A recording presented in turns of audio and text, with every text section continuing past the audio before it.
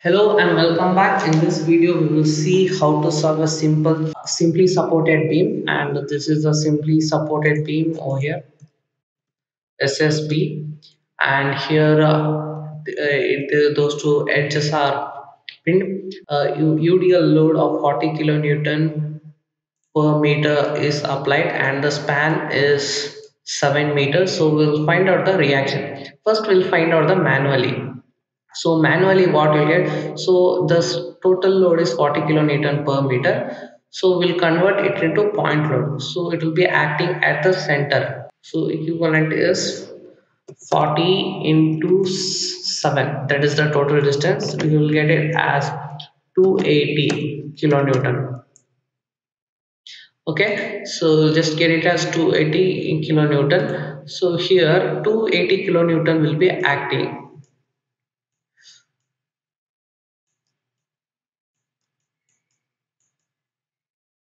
So due to the vertical forces that is RA plus RB is equal to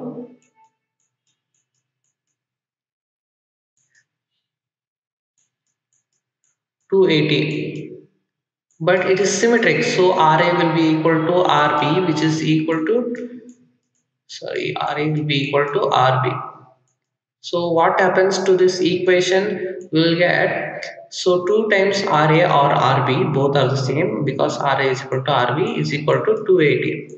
So what we will get RA? So RA will be equal to RB. RB uh, so RA is equal to RB which is equal to 140 140 kilonewton. Okay? And now we'll find the bending moment. So when we find out the bending moment uh, so here we, we will just erase this. And so when we find out the bending moment we'll see like we'll get the like this. And for a shear force since here and here. We'll get like this. Here also 140 this is 140 and this one is also 140 so this is a shear force and for bending moment we'll get like this. And this is positive. So what happens is so bending moment if there is a UDL and if there are two edge conditions are given like this so the bending moment is given by the formula W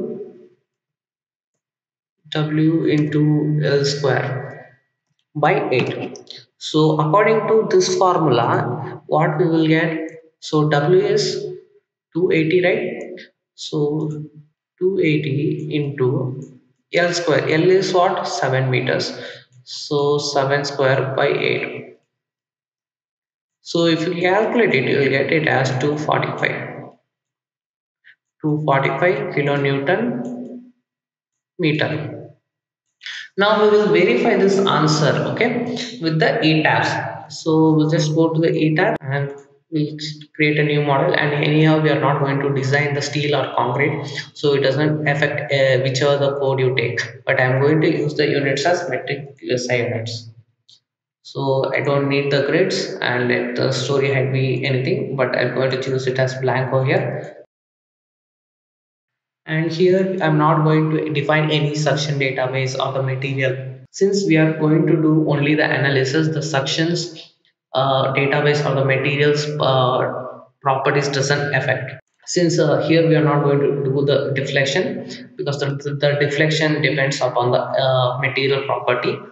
So now I'll go to the draw. And I will draw beams and columns so I'll draw from this origin. This is the origin. And here in the property it may be anything. We can choose anything because we are not going to do the design as I said before. So I'll just draw it at a distance of 7 meter.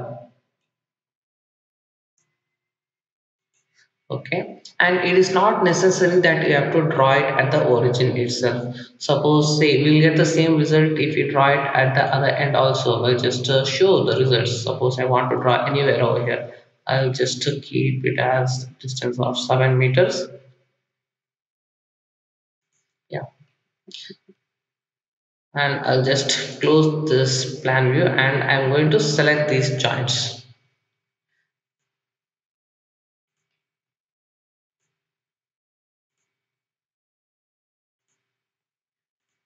So and I will assign the joints now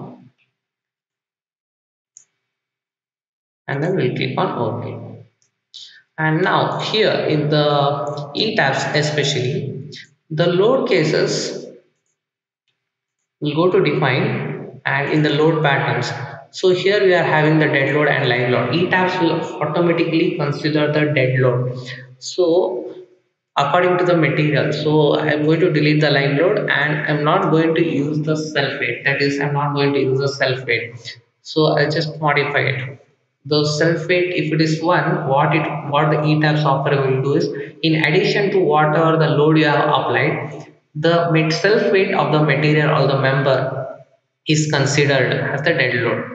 And if you chosen it as zero you can override that one. That means the self weight will not be considered.